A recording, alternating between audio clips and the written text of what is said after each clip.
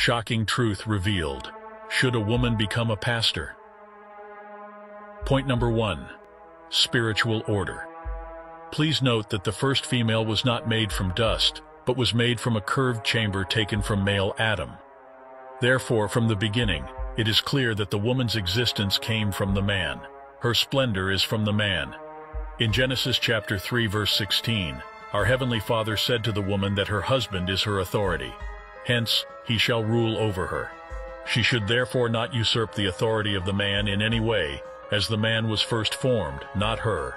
And the man was not deceived, but her. Therefore any woman who believes that she is the leader of her husband or household is a woman who is walking disorderly. The same can be said for any woman who believes that she is the leader of the household of our Heavenly Father. Our Heavenly Father has already set his house in his order from the beginning. Point number two, the right to rule.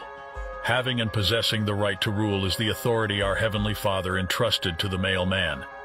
Man was made and placed here on earth to represent our Heavenly Father. Being born male means that you were born a leader. You must remain in submission to the words of our Heavenly Father. Being born female means that you were born to help the male in fulfilling his purpose. His purpose is to serve our Heavenly Father not only in spirit, but most certainly in truth. When she helps him to fulfill his purpose, her purpose will be fulfilled.